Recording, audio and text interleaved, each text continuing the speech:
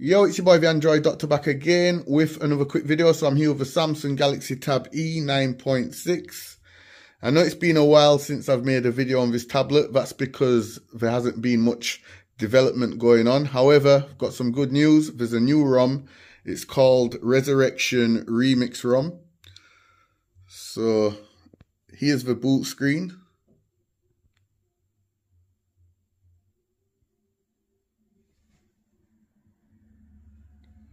So there's the boot animation there. Resurrection Remix.